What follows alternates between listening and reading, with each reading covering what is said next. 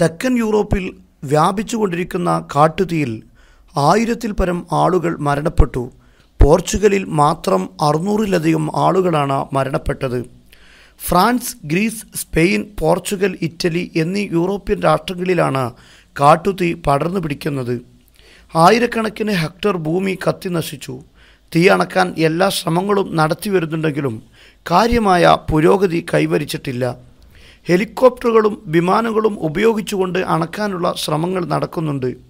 നാൽപ്പത്തി അഞ്ച് ഡിഗ്രിയിലധികം ചൂട് എത്തിയതുകൊണ്ട് ജീവന് തന്നെ ഭീഷണി നേരിടുന്നു. ആയിരക്കണക്കിന് ആളുകളെ മാറ്റിപ്പാർപ്പിക്കുകയും മരണനിരക്ക് ഉയരാതിരിക്കാൻ ആവശ്യമായ മുൻകരുതലുകൾ എടുക്കുന്നുമുണ്ട്.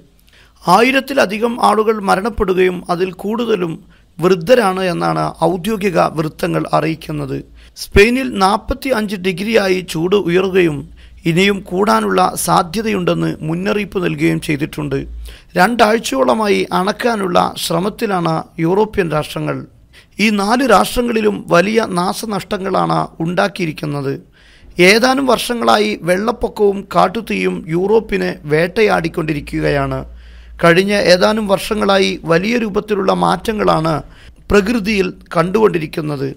യൂറോപ്പിന് പുറമെ പല രാഷ്ട്രങ്ങളിലും ഈ അടുത്തായി വെള്ളപ്പൊക്കവും കാട്ടുതീയും പടർന്നു പിടിച്ചിരുന്നു. നദികളിൽ നിന്നുള്ള വെള്ളം ഉപയോഗിച്ചാണ് ഹെലികോപ്റ്ററുകൾ തീയണക്കുന്നത്. വലിയ സാഹസങ്ങളും പ്രതിസന്ധികളുമാണ് തീയണക്കുന്ന ഉദ്യോഗസ്ഥർ നേരിടുന്നത് എന്ന് ഔദ്യോഗിക വൃത്തങ്ങൾ അറിയിക്കുന്നു.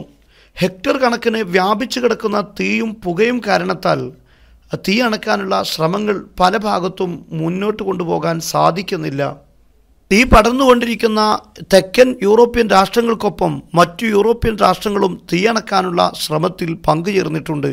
വലിയ നാശനഷ്ടങ്ങളില്ലാതെ ജനജീവിതം തടസ്സപ്പെടാതെ ഈ പ്രതിസന്ധിയെ മറികടക്കാൻ യൂറോപ്പിന് സാധിക്കട്ടെ എന്ന് പ്രാർത്ഥിക്കുന്നു.